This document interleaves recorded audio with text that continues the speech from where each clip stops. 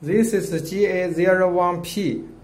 This box is designed for the power failure alarm and the battery inside for power failure alarm and also have one input alarm.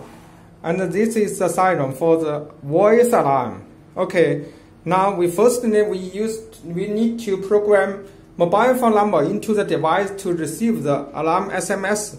We also can use the GA09 app. Okay, now firstly we need to add a new device. Of course, for my mobile phone number already added, press it and add the mobile phone number.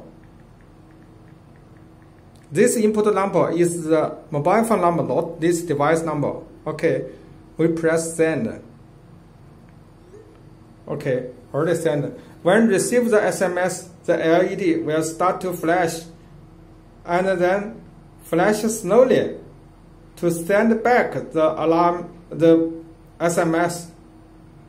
Okay, received. To show the tail. Okay, now we can start to test it. Firstly, we test the power failure alarm. Power off the DC. DC power supply is power off. The battery start to work. Flash to send the alarm SMS. Okay, backup battery power supply working. Already received this alarm SMS. Okay, we power on again. Device will also send the SMS to tell you the power supply is back to normal. Okay, normal power supply working. Okay, now we test the input alarm. We use this to short the input to GND. Okay, already shorted. Oh, sorry.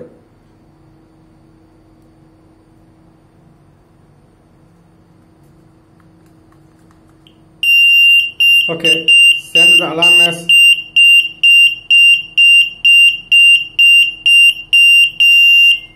received the alarm SMS, the first one. The text can be predefined by the users. Also now, report alarm another SMS that the input is back to normal. Okay, the input is back to normal. Also reported. Okay, now we already simply tested the alarm box. Thank you.